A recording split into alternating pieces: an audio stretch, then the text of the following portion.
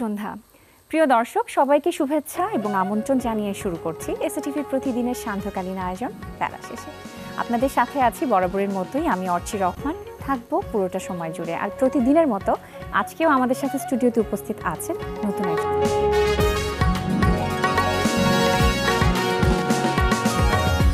প্রিয় দর্শক, আজ আমাদের সাথে আছেন বিশিষ্ট অতিথি যিনি একাধারে শিক্ষক, সংগীত শিল্পী এবং লেখক অধ্যাপক ডক্টর নাশিদ কামাল। চলে যাচ্ছি তার কাছে। কেমন আছেন আপা? মাশাল্লাহ ভালো আছি। তুমি? অনেক ভালো আছি। আর আপনাকে হ্যাঁ। সামনে পেয়ে আমার কতটা ভালো লাগছে সেটা মনে হয় আমি আগেই বলে দিয়েছি সেটা বলছি না। এবং অনেক অনেক হ্যাঁ। অনেক অনেক শুভেচ্ছা জানাচ্ছি আপা আমাদের তোমাকে এবং তোমার মাধ্যমে এসএ টিভির যত দর্শক আছেন তোমাকে জানানো মানেই তুমি হোস্ট করছ। সবাইকে আমি ইনক্লুড করছি আমার শুভেচ্ছার মধ্যে। আপনাদের মতো আইডল যখন আমাদের সামনে বসে থাকে আসলে নিজেরাও মনে হয় অনেক কিছু জানতে চাই জানতে ইচ্ছে করে দর্শককে জানাতে ইচ্ছে করে। আজকের আয়োজনে সেই আপনার অনুভূতির কথাগুলো জানব। তবে তার আগে যে ইভেন্টটা নিয়ে কথা বলতে চাই সেটা নিয়ে একটু শুনি। বাংলা খেয়াল উৎসব দু আচ্ছা। সেটা শুরু হতে যাচ্ছে। হ্যাঁ হ্যাঁ। তোমাকে প্রথমে থ্যাংক ইউ জানাই আমাকে আইডল বলার জন্য। এটা তো একটা খুব সুন্দর পাওয়া।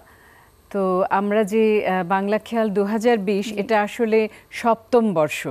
জি সংগীত চর্চা কেন্দ্র যেটা আছেন আজাদ রহমান সাহেবের উনি বহু উনি খুবই গুণী একজন ওস্তাদ মানুষ আমি যখন টেলিভিশনে একদম ছয় বছর বয়সে প্রথম শুরু করি।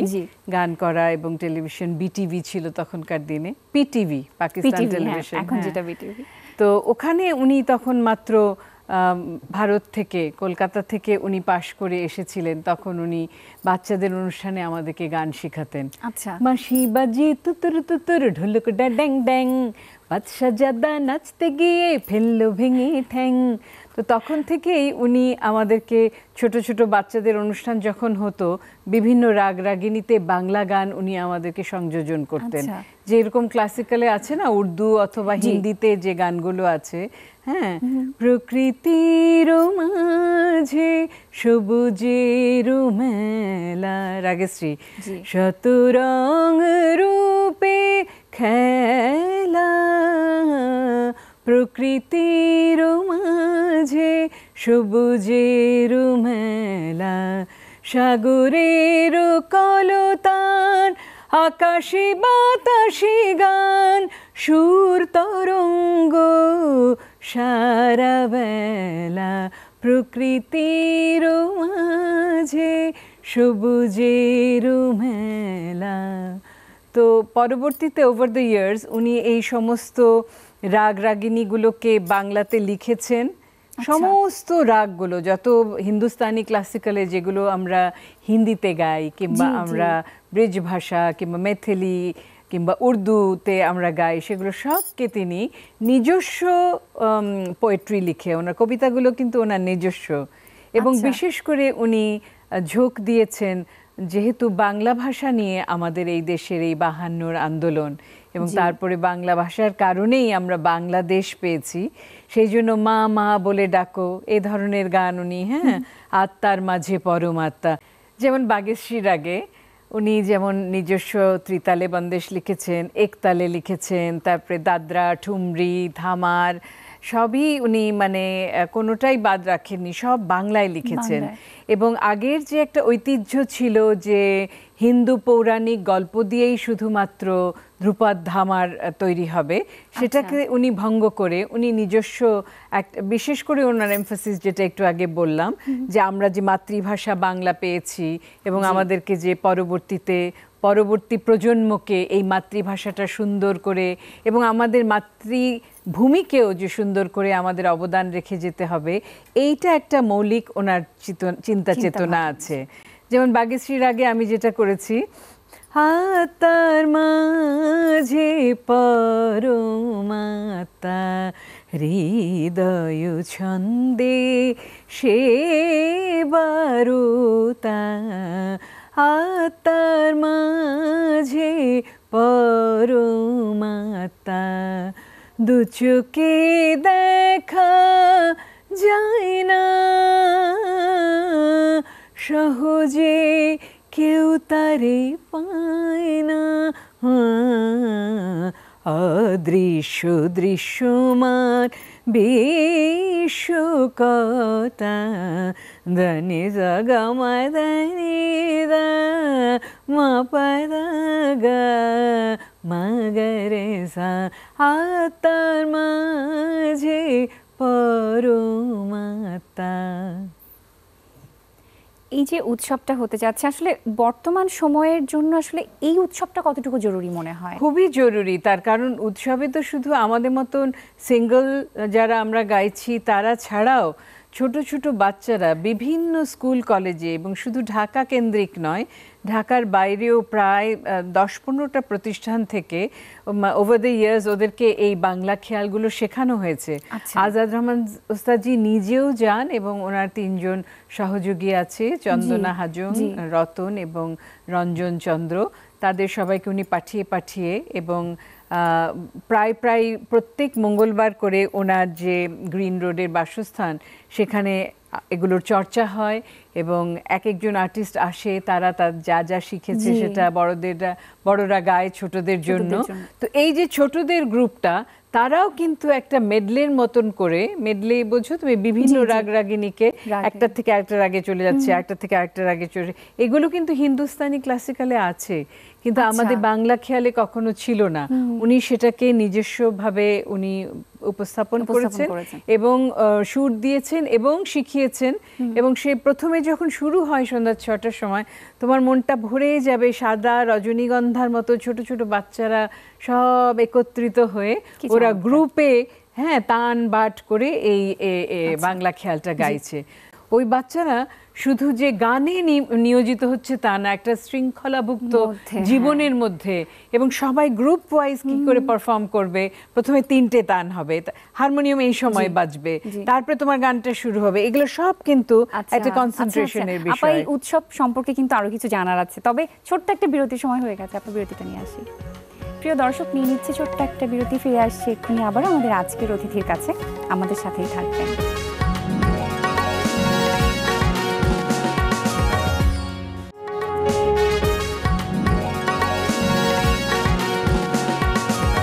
প্রিয় দর্শক, বিরতির পর ফিরে এলাম আবারও। বেলা শেষের আজকের আয়োজনে আপনাদের সাথে আছি আমি অর্চি রহমান এবং আমাদের সাথে স্টুডিওতে উপস্থিত আছেন শিক্ষক, সংগীত শিল্পী এবং লেখক অধ্যাপক ডক্টর নাশিদ কামাল। কথা বলছিলাম তার সাথে, চলে যাচ্ছে আবারও তার কাছে।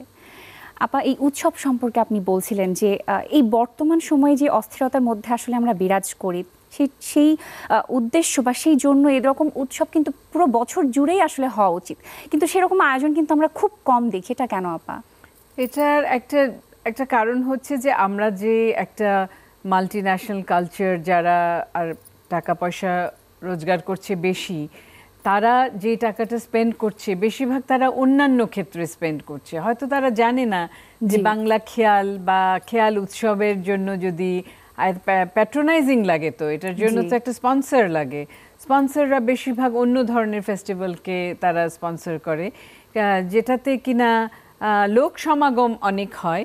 কিন্তু অনেক মানুষের ইনভলভমেন্টে এই যে বাংলা খেয়াল বা কবিতার উৎসব বা নজরুল সঙ্গীতের উৎসব এগুলোর আমাদের অনেক বেশি প্রয়োজন আছে। কারণ আমাদের রন্ধ্রে রন্ধ্রে এখন তো আমরা বিরাট একটা পপুলেশন জনগোষ্ঠীকে আমরা হ্যান্ডেল করছি। তুমি জানো আমি জনসংখ্যার উপরেই আমার পিএইচডি করেছি।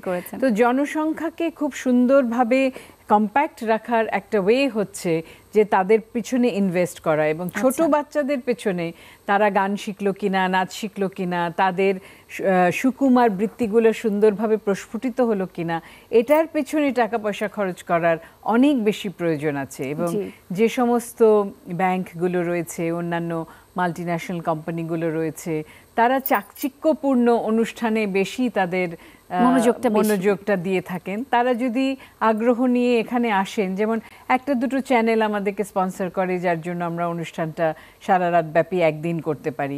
এখন আরও যদি দশটা চ্যানেল আছে দশজন যদি স্পন্সর করে তাহলে মাসটা কেটে হ্যাঁ, গেল। হ্যাঁ প্রতি মাসেই আমরা তাহলে সারা রাত। এই এবারের উৎসবে যারা অংশগ্রহণ করতে পারল না সবাই তো একই দিনে আসতে পারে না। হ্যাঁ এবং ঢাকার বাইরে থেকে আসাও তাদের কিছু লজিস্টিক সমস্যা থাকে। তো ধরো মার্চে যদি একদিন আমরা করি এপ্রিলে একদিন করি পয়লা বৈশাখে মেতে একদিন করি নজরুলের জন্মদিনে এরকম করে সারাটা বছর ধরে যদি আমরা এই উৎসবটা পালন করতে পারতাম তাহলে আরও আরও বিভিন্ন প্রতিষ্ঠানে ছড়িয়ে যেত। এবং এখন তুমি জানো যে এই বাংলা খেয়ালগুলো তিনি যেগুলো রচনা করেছেন সেগুলো কলকাতাতেও গাওয়া হচ্ছে আচ্ছা। কলকাতা তো বাংলা ওদের মাতৃভাষা হ্যাঁ বাংলা ওদের স্টেট ল্যাঙ্গুয়েজ এবং শান্তিনিকেতনেও গাওয়া হয়েছে। কাজে আমাদের একটা স্কোপ আছে এখানটাতে যেহেতু আমরা স্বাধীনতার পরে বাংলা আমাদের মাতৃভাষা এবং একমাত্র দেশ বাংলাদেশ যেখানে একটাই মাত্র মাতৃভাষা এবং আমাদের যে গবেষণা আমাদের যে কাজকর্মগুলো বার হয়েছে আমাদের বই। সারা পৃথিবী তো স্বীকৃত। একুশ ফেব্রুয়ারি আমাদের দেশের সারা পৃথিবীর জন্য মাতৃভাষা দিবস হয়ে গেছে। আমাদের একটা বড় স্কোপ আছে যে বাংলাকে আরও বেশি বিস্তৃত করার এবং বাংলা খেয়াল সেটার একটা বড় মাধ্যম ভূমিকা রাখছে হ্যাঁ আসলে আর এই উৎসবের জন্য কি কি প্রস্তুতি আসলে নেওয়া হচ্ছে এখন উৎসবের জন্য আমাদেরকে আসলে ওস্তাদজি আজাদ রহমানের যে নিজস্ব বাসভবন রয়েছে সেটা গ্রিন রোডে আচ্ছা। সেখানে প্রত্যেক মঙ্গলবার করে আমাদের যেতে হয় হ্যাঁ আচ্ছা। তো আমি শিক্ষক না আমি তাও দু এক সময় যাই আমি আচ্ছা। গান করি এবং তাদেরকে ছোট ছোট বাচ্চাদের গানগুলো শুনি যে তিনজনের নাম বললাম ওরা শিক্ষক ওরা গান গান শেখানো থেকে শুরু করে কি কাপড় পরবে কখন যাবে প্রস্তুতি পর্বটা আচ্ছা। এখন চলছে আর কি হ্যাঁ। একদমই শেষ মুহূর্তের হ্যাঁ, প্রস্তুতি। আর ওদেরকে দেখে যেরকম আমার লাগতে থাকে সেটাও একটা যোগ রাগে উনি একটা বন্দেশ লিখেছেন ওদেরকে সত্যি আমার দেখলে সাদা পোশাক পরে ওস্তাদজি আজাদ রহমান আমাদেরকে ওখানে প্রোগ্রাম করতে বলেন। আচ্ছা। তো সেটা বলে আমি তুমি বিদায় নাও আমি ওই গানটা গেয়ে আমি আজকে অনুষ্ঠান শেষ করব। এই ছোট ছোট বাচ্চাদের দেখে নিশ্চয়ই আপনার ছোটবেলার কথা অনেকখানি মনে পড়ে মনে পড়ে যায়। মা বাবার কথাও খুব মনে পড়ে। কীভাবে? তখন তো আর একা একা আসতে পারতাম না। ওনারা সাথে করে নিয়ে যেতেন। আমার ওস্তাদজি ছিলেন ওস্তাদ পিসি গোমেস এবং উনি বার্ষিক একটি অনুষ্ঠান করতেন। আচ্ছা। তো তার ছাত্রী ছিলেন আহ, আমাদের শ্রদ্ধেয় সাবিনা ইয়াসমিন নীলুফার আচ্ছা। ইয়াসমিন লাভলি ইয়াসমিন। এরা সবাই অঞ্জনা সাহা যে পরবর্তীতে সিনেমায় অ্যাক্ট্রেস হয়েছিল। তারপরে মালা খান রূপা খান এরা সবাই স্বাধীনতা যুদ্ধে অনেক অংশগ্রহণ করেছে। আমরা সবাই ওস্তাদজি পিসি গোমেসের ছাত্রী ছিলাম। আচ্ছা। এবং আমি তখন আমার মনে আছে আমি ছোট্ট লাস্টে আমার নাম ছিল ডাকনাম ইভু। উনি একটা এরকম বার করতেন ব্রোশিওর। যেটার মধ্যে প্রত্যেকের নাম লেখা থাকতো আমরা একটা ছোট্ট তানপুরা হাতে নিয়ে যেতাম আমরা একটু একটু করে গান করতাম স্টেজ ফ্রাইটটা ভাঙাও তো একটা বড় একটা ব্যাপার। হ্যাঁ ছোট থেকে গাইতে গেলে হ্যাঁ। আব্বা আম্মারা সাথে যেতেন আচ্ছা। যত্ন করে তানপুরাটা নিয়ে যেতেন হয়তো তবলা যে বাজাবেন উনিও যেতেন তো ওদেরকে যখন দেখি অন্যরকম একটা আমেজ অন্যরকম হ্যাঁ। একটা পরিবেশ হ্যাঁ, আপা ওদেরকে যখন দেখি তখন আমার সেই কথাগুলো মনে এসে যায় আবারও সেই সময়ের গল্প শুনব আপা তবে আবারও একটা বিরতির সময় হয়ে গেল বিরতিটা নিতে হচ্ছে আপা। প্রিয় দর্শক, আবারও নিয়ে নিচ্ছি ছোট্ট একটা বিরতি, ফিরে আসছি এক্ষুনি আবারও আমাদের আজকের অতিথির কাছে, আমাদের সাথেই থাকবেন।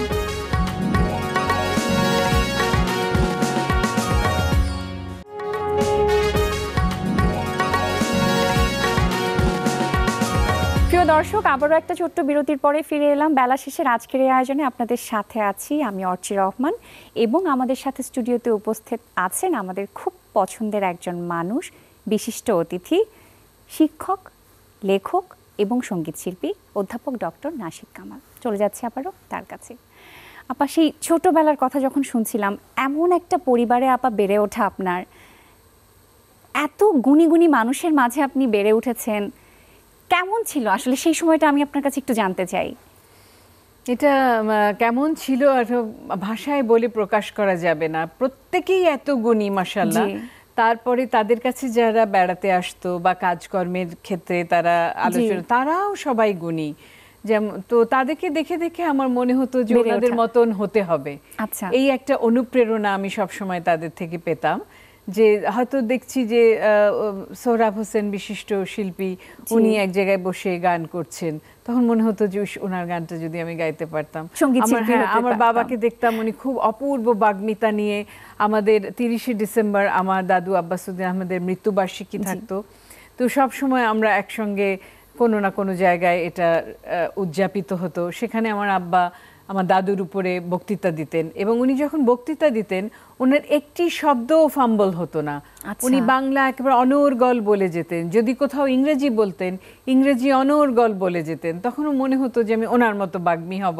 আবার পাশের ঘরে আমার চাচা হয়তো একের পর এক সমস্ত ভাওয়াইয়া ভাটিয়ালি এবং বিভিন্ন জেলা থেকে আসা শিল্পীরা এই যে সিলেট থেকে আসতেন হ্যাঁ? বিদ্যুৎ লাল দাস এনারা সবাই আসতেন। তারপরে তখনকার দিনে মেহেদি হাসান তারপরে নির্মলেন্দু চৌধুরী এরা সবাই আমাদের বাসায় আসতেন। এদেরকে দেখে ভূপেন হাজারিকা এদেরকে দেখে মনে হতো যে এদের মতন হব। আচ্ছা। তো অনেক উঁচুতে উঠবার একটা শখ ছিল। আর আমার মা প্রফেসর হোসনিয়ারা কামাল উনি বিশ্ববিদ্যালয়ের শিক্ষক ছিলেন। উনি আমাকে কোলে করে নিয়ে যেতেন যেদিন আমাকে দেখার কেউ থাকতো না। আম্মার সাথে করে ক্লাসে বসিয়ে আম্মা পড়াতেন। আমি হয়তো আচ্ছা। চেয়ারে বসে আছি বা টেবিলের উপরে বসে আছি আম্মা পড়াচ্ছেন। আম্মাকে পড়াতে দেখে মনে হতো আমি এরকম শিক্ষক হব। আচ্ছা। আম্মা লিখতেন আম্মা বই পাবলিশ হতো বাংলা একাডেমি থেকে। প্রথম আম্মার বই পাবলিশ হয় আমার আমাকে কেন্দ্র করে ইভুর জন্য ছড়া। উনি খুব ছড়া কাটতেন। তো ইভু আমার ডাকনাম। ডাকনাম। ইভুর জন্য ছড়া সিক্সটি ফাইভে বাংলা একাডেমি থেকে বার হয়। তো আম্মার সেই উৎসাহ দেখে আমিও মুখে মুখে ছড়া কাটতাম। আমার মনে হয় এই বিভিন্ন আবহের মধ্যে এই যে তুমি বলছো, এরকম একটা এরকম একটা দামি পরিবার দাদু আব্বাসুদ্দিন তার কথা শুনতাম তার গানগুলো বাজছে রেকর্ডে সারাক্ষণ তারপরে যখন ওনার জন্মদিন হতো বহু লোকে ওনার ছবিটা আব্বা অয়েল পেন্টিং করিয়েছিলেন বহু লোকে আমাদের ড্রয়িং রুমে এসে ছবিতে ফুল আচ্ছা। দিচ্ছে মালা দিচ্ছে আমাদের অনেক খাওয়া দাওয়া হচ্ছে এমনকি বঙ্গবন্ধুও আমাদের বাড়িতে এসেছেন আচ্ছা। এবং বঙ্গবন্ধু আব্বাসুদ্দিন আহমেদকে খুবই ভালোবাসতেন এবং ওনার অসমাপ্ত আত্মকাহিনীতে তিনি সেটা মেনশনও করেছেন কীভাবে বঙ্গবন্ধুর সাথে ওনার দেখা হয়েছিল আব্বাসুদ্দিন আহমেদের আব্বাসুদ্দিন আহমেদ বড় ছিলেন অবশ্যই এবং তাকে কি কি বলে গিয়েছিলেন সেই কথাগুলো উনি মেনশন করেছেন। তো আমাদের বাড়িটা ছিল একেবারে একেবারে একটা কেন্দ্র মানে বাংলাদেশের একটা কেন্দ্র তখন ইস্ট পাকিস্তান ছিল। খুবই আর আমার দাদি ভীষণ মিশুক একজন মানুষ ছিলেন। উনি নিজেও কবিতা লিখতেন এবং আচ্ছা। মহিলাদের সাথে ওনার যে পোয়েটসরা ছিল জাহানারা আরজু বেগম সুফিয়া কামাল তারপরে মাফরুহা চৌধুরী এদের সবার সাথে বসে ওনারা মহিলা লেখিকারা কোথায় কোন লেখা বের হবে একে অপরের কবিতা পড়তো। তো এমন একটা পরিবেশে আমি বড় হয়েছি যে আমি আমি না হয়ে আর থাকতে পারি অন্য কিছু হওয়ার আসলে কথা আসেই না এবং আমাদের আইডল এজন্যই আপনি.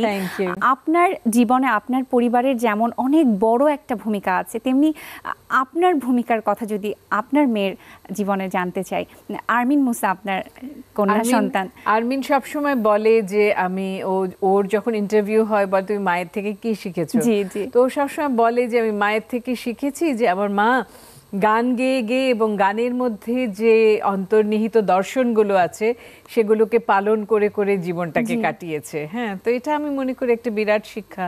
কারণ ছোটবেলা থেকে তুমি আমরা অনেক বড় হয়ে যারা ফিলসফি সাবজেক্ট চুজ করে অথবা এ ধরনের হিস্ট্রি বা এ ধরনের সাবজেক্টে যায় তখন তারা প্রথম প্রথম তারা সেই পরশটা পায় যে দর্শনটা কি। কিন্তু যারা গায়ক বাদক হয় তারা কিন্তু খুব ছোটবেলা থেকেই দর্শন শুনছে। তার কারণ হচ্ছে কবিরা তো এই দর্শনগুলো লিখে গেছেন বলেই সেগুলো গান হয়েছে। হ্যাঁ তো এই দর্শনগুলো কিন্তু মাথায় গেঁথে যায়। এবং মাথায় যদি গেঁথে যায় তখন তুমি সেগুলোকে চর্চা করো। তোমার ছেলে আসলে। ছেলে মেয়েরা অটোমেটিক্যালি সেই দর্শনের মধ্যে অন্তর্ভুক্ত। অন্তর্ভুক্ত হয়ে যাচ্ছে। তো অনেক জীবনে উত্থান পতন গেছে কখনো বাবা মারা গেছে কখনো মা মারা গেছে কখনো মানে জীবন অদ্ভুত কারণে চাকরি হয়তো হারিয়েছি। কখনো হাজবেন্ড মারা গেছে কখনো ছেলে মেয়েরা বিদেশ চলে যাচ্ছে আমি একদম একলা হয়ে যাব এরকম সিচুয়েশনে পড়েছি। কখনো টাকা পয়সার কষ্ট হয়েছে সব অনেক রকম কষ্ট হয়েছে। সবকিছুর মধ্যে- দিয়েই গানটাকে অবলম্বন করে সেই সুন্দর সুন্দর কথা দেব খোঁপায় তারার ফুল কিংবা হ্যাঁ পাখায় পাখায় বাঁধা জবে রয় বিহগ মিথুন কথা নাহি কয়। এই কথার মধ্যে নিজেকে নিমজ্জিত করে আরও আরও অনুপ্রেরণা পেয়েছি। সব অঙ্গনেই আপা আপনার অবদানের কথা বলে শেষ করার নেই আসলে। আর যেটা শুরুতেই বলছিলাম যে আপনার থেকে কত কিছুই যে জানবার ছিল কিন্তু সময়ে কেন সব সময় বাধা পড়ে যায় জানি না। আজকে অনুষ্ঠানের একদমই শেষে চলে এসেছে। আপনি কথা দিয়েছিলেন একটা গান শোনাবেন আমাদেরকে। হ্যাঁ আমি বলেছিলাম যে যখন বাচ্চারা একসঙ্গে গান করে চার পাঁচটা রাগ একটার পর একটা চলে যাচ্ছে। তো তখন ওদের ওই সাদা পোশাক পরে কচি কচি মুখগুলো দেখে আমার এই এটাও আজাদ রহমান সাহেবের রচনা এবং সুর গানটা শোনার আগে কি বিদায়টা নিয়ে নেই? নিয়ে নাও। ধন্যবাদ আপা। প্রিয় দর্শক আজকের মতো এখানেই শেষ করছি। বেলা শেষের আয়োজন। আবারও দেখা হবে নতুন আরেকটি আয়োজনে নতুন আরেকটি পর্বে নতুন অতিথিকে সাথে নিয়ে। সে পর্যন্ত আপনারা সবাই ভালো থাকবেন সুন্দর থাকবেন সুস্থ থাকবেন। এসএ টিভির পর্দায় চোখ রাখবেন।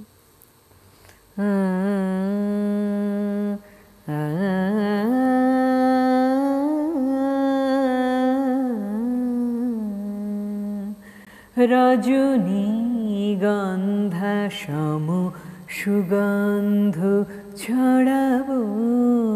রজনী গন্ধা সম সুগন্ধ ছড়াবো। হৃদয়ে সুরভে এ ভুবন ভরাবো, হৃদয়ে সুরভে এ ভুবন ভরাবো, রজনী গন্ধা সম সুগন্ধ ছড়াবো।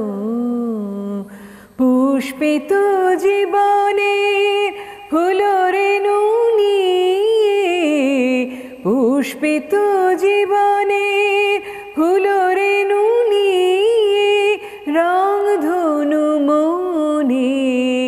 সব রং দিয়ে রং রূপ সুগন্ধে ধরণীকে সাজাবো রজনী গন্ধা, সম সুগন্ধ ছড়াবো হৃদয়ে সুরভে এ ভুবন ভরাবো রজনী রজনী রজনী গন্ধা সম সুগন্ধ ছড়াবো